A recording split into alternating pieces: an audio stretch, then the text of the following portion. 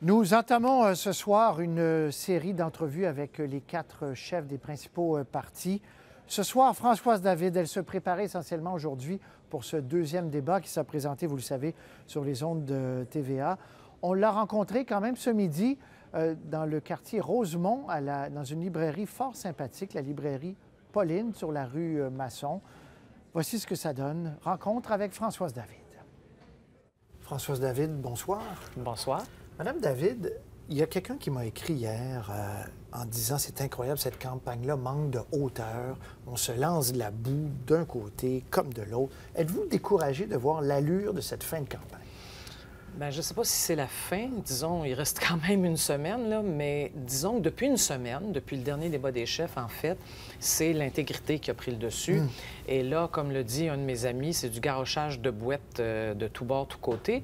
C'est drôle, il y a nous autres qui a l'air d'émerger là-dedans comme des incorruptibles. En fait, je suis très contente parce que c'est ce qu'on est. Mais oui, il y a un petit côté décourageant. Une journée, c'est un, une journée, c'est l'autre. Puis ce que ça fait, c'est que la population se dit, bien, coudons, tous pareils. Donc, ça apporte pas de confiance, ça encourage le cynisme, mais moi, j'espère que là-dedans, les gens vont se rendre compte qu'il y en a un, le dernier Gaulois, qui lui dit non, nous autres, on est incorruptibles. Mais est-ce que vous trouvez qu'on doit, par exemple, reparler du mandat libéral de Jean Charest? Est-ce qu'on doit refaire euh, cette campagne-là qu'on a un peu fait en 2012? Bien, que à travers la campagne, on reparle des neuf ans de règne du régime libéral, oui. M. Mm. Couillard en a quand même fait partie pendant plusieurs années.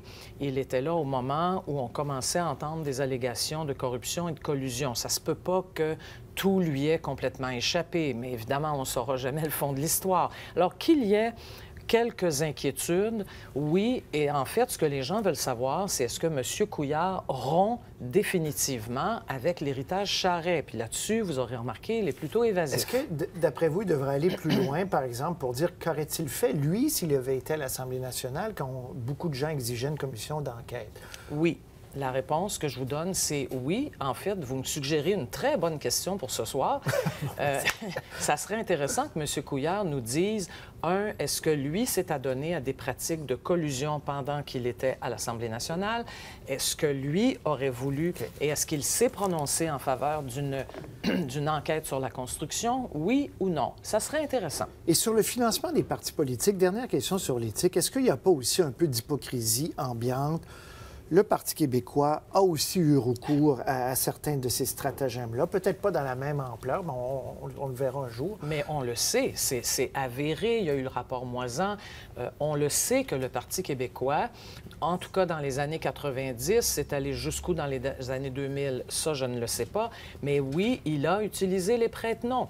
Québec solidaire a sorti un rapport là-dessus en 2010 que personne n'a contesté. Donc oui, l'ensemble de la classe politique dans les années 90 utilisait ce stratagème. Donc, vous pouvez être agacé par M. Couillard, mais aussi agacé par euh, Mme Marois qui se drape de blanc en disant au PQ, c'est pas ça. Surtout quand elle dit au PQ, nous ne l'avons jamais fait. Allons donc. Ce n'est pas exact. Maintenant, est-ce que c'est le seul débat que nous devons faire durant cette campagne? Non. Ce soir, parlez-moi euh, quelques secondes de ce débat. Est-ce que vous attendez vraiment que ça soit beaucoup plus dur comme ton, comme attaque par rapport à la dernière fois? Ça pourrait l'être, mais en même temps, comme ils sont tous les trois un peu concernés, disons, par les questions d'intégrité, ils vont peut-être se garder une petite gêne, là, parce qu'un attaque, l'autre contre-attaque, et puis au bout de cinq minutes, vous l'avez vu, c'est la cacophonie totale. Mm. Donc, je ne sais pas. Euh, moi, de toute façon, la façon dont je me suis préparée, c'est de pouvoir intervenir sur cette question-là, mais surtout, surtout, de dire aux gens qui nous écoutent, il y a un parti, il s'appelle Québec solidaire, et lui, il se préoccupe, il se préoccupe pardon, des enfants dans les écoles, il se préoccupe des malades qui attendent à l'urgence, il se préoccupe de pauvreté, il se préoccupe d'environnement. On est les seuls à en parler. On va même ce soir essayer de parler de langue et de culture. C'est pour vous dire, parce que ça, personne ou à peu près n'en parle. Donc, on voudrait un peu élever le débat et l'apporter sur les préoccupations quotidiennes des gens. Qu'est-ce que vous avez, selon vous, apporté avec vous à l'Assemblée nationale? Qu'est-ce que ça change dans la dynamique à l'Assemblée nationale qui est deux députés de Québec solidaire? Ce que ça change, c'est à certains moments d'avoir un groupe qui est la conscience de l'Assemblée nationale. Par exemple, sur les compteurs intelligents. C'est nous qui avons apporté une motion, finalement adoptée à l'unanimité, pour dire qu'il faut absolument que les gens qui décident de ne pas en avoir ne soient pas pénalisés. C'est nous qui avons déposé une motion, elle aussi adoptée à l'unanimité, pour dire qu'il faut cesser la discrimination face aux mères à l'aide sociale qui reçoivent une pension alimentaire et ne peuvent pas la garder. Euh, c'est mon collègue Amir Kadir qui a été le seul durant la commission parlementaire sur l'inversion des pipelines, Enbridge. Ça a été le seul à poser des vraies questions et ça a été salué par plusieurs journalistes. Je pense qu'on est, c'est ça, quelque part la conscience de l'Assemblée nationale. Ce pas, vous n'êtes pas que des pelleteux de nuages dans une oh, utopie. Euh, vous oh, dites que dans des dossiers concrets, le fait que vous soyez là, ça force les autres partis à en faire un peu plus. À se positionner, exactement.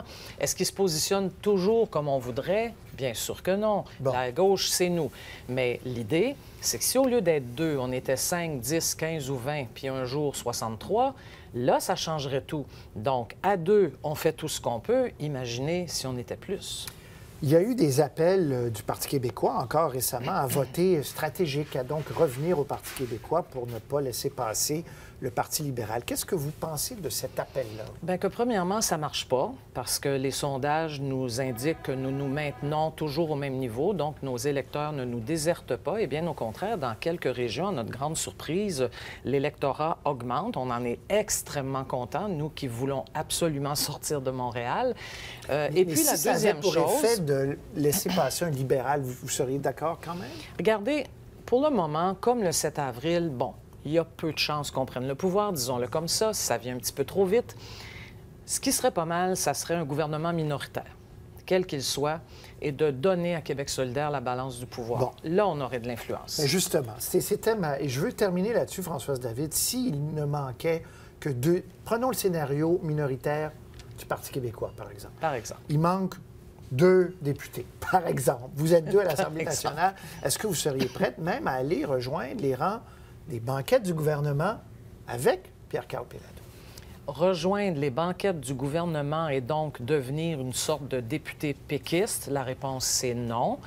Mais oui, à discuter ensemble, à s'assurer que le projet de loi qui est déposé correspond, voter avec le gouvernement. correspond au bien commun, correspond à des valeurs d'écologie. Et là, oui, on va voter avec le gouvernement, mais je vous souligne qu'on l'a fait à maintes reprises. Très bien. Et si c'était un gouvernement libéral minoritaire? La même chose, on négocierait, on négocierait fort, on essaierait d'obtenir ce qu'on veut et on pourrait voter avec ce gouvernement s'il va dans le sens de la justice et de l'écologie. Pour le bien du Québec, est-ce que vous croyez que c'est mieux d'avoir un gouvernement libéral ou péquiste? Pour le bien du Québec, sincèrement, là, ce qui vaut mieux, c'est de remettre en question les vieux partis qui ont fait leur temps et de voter pour Québec solidaire, sincèrement. Là. On est rendu là, là. Vous n'avez pas de préférence, vous aimez mieux je n'ai pas de préférence. Ma préférence, c'est ce que nous nous apportons. C'est un Québec audacieux qui se lance dans le 21e siècle, qui fait du transport en commun, qui élimine les gaspillages, qui va chercher du nouvel argent pour financer des programmes sociaux. C'est de ça qu'on a besoin au Québec. Et vous rêvez d'un troisième peut-être avec vous? Vous êtes deux? Je ne fais pas que rêver.